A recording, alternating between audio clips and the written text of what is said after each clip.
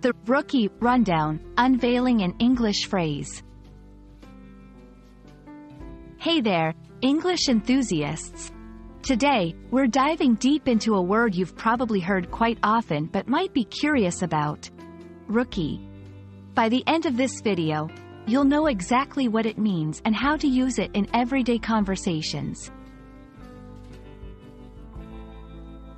At its core, the word, rookie, refers to someone who is new to a particular field, profession, or activity.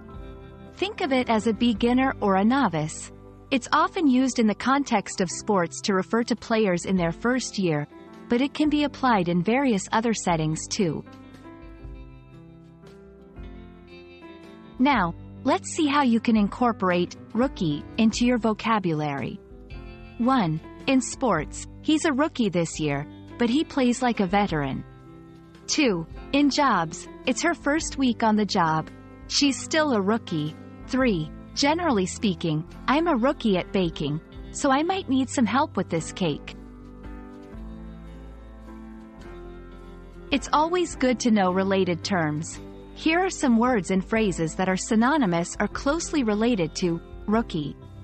1. Novice, someone who is new and inexperienced. 2. Greenhorn, an inexperienced or naive person. 3. Newbie, a newcomer or beginner. While rookie generally has a neutral or slightly playful connotation, it's not meant to be derogatory. However, context is crucial. If someone says, don't make a rookie mistake, they're highlighting the inexperience. Always be aware of the context. So there you have it. The next time you hear the word rookie, you'll know exactly what it means and how to use it effectively. Whether you're a rookie in English or a seasoned pro, keep up the great work and happy learning.